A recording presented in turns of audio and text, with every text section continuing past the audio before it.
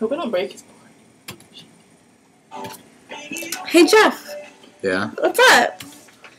not much. Listening to music. Cool, cool. Uh, how's that architecture going? I don't know. You tell me. Well, let me tell you about my project. I'm kind of busy doing my own. Well, I'll tell you about it anyways. Fine. So, uh, have you heard of uh, Banco Borges and Irmao? The what? Banco Borges and Irmao? How can a what is an Arameo? I have no idea. But it, it's it's a building designed by Alvaro Siza in 1986. Have you heard of this guy before?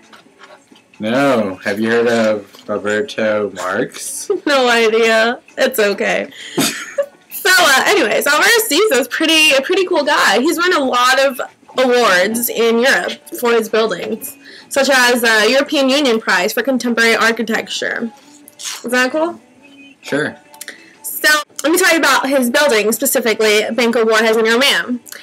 Um, it's located in Vila de Conde in Portugal, and it sits between two old buildings and on a small curved corner. And this corner is pretty cool because instead of having four corners, this building has one rounded one.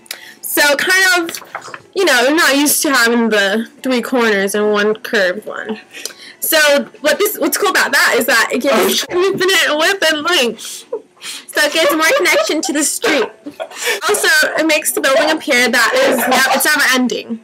Um, hey, where'd you go, Jeff? I'm embarrassed.